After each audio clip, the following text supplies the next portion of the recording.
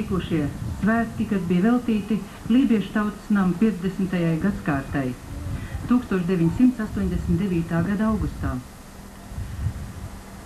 Šeit daudzi Latvijā uzzināja, ka lībieši un viņu pēcnācēji pulciņš vēl ir gan redzami, gan arī dzirdami. Un ka lībiešu gars un dvēseli vēl dzīvi. Kā rakstīts uzrakstā Paulīnas Kļaviņas mājā, Līvadmo, Ziņķkēji un Mēji sudīt abot Kolandvēlu. Aizvadītajā laika posmā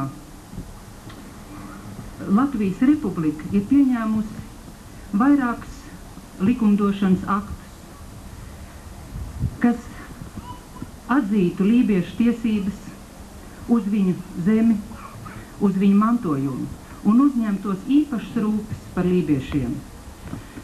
Tas ir likums veltīts republikas uh, cita, uh, mazākuma tautībām, kur ir speciāls pants veltīts tieši lībiešiem, ar kuru valsts uzņemās īpašu atbildību par lībiešiem.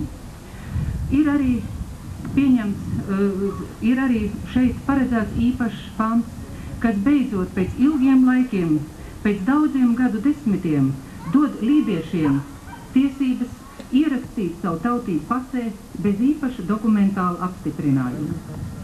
Tāpat ministra padomu šogad 4. februārī pieņēma lēmumu par valsts īpašu aizsargājumu lībiešu kultūrvēsturisku teritoriju Līvadrāndu. Bet šis darbs ir tikai aizsākums. Tas ir pamats, uz kur tālāk mēs visi un katrs varam veidot šeit lībisko vidi, kopt lībiešu valodu, atjaunot tradicionālos saimniecības no, nodarbošanos veidus un glābt lībiešu kultūru mantojumu, attīstīt viņu tālāk, lībiešu kultūru. Un šeit tiešām roka ir jāpieliek katram, tieši katram pēc savām spējām un tajā vietā, kur viņš var būt visnoderīgākais. Un arī šie svētki, kurus mēs ceram, kur izveidosies tradicionāli un igadēji, būs veltīts tam, lai mēs varētu pulcēties kopā vismaz vienreiz gadā, tādā jaukā gaisotnē, kur mēs varētu iepazīties viens ar otru labāk, kur mēs varētu parunāties, dalīties savās domās, kopīgi padziedāt un kopīgi priecāties arī pie reizes uzzināt kaut ko jaunu, kas darīts lībiešu lietā.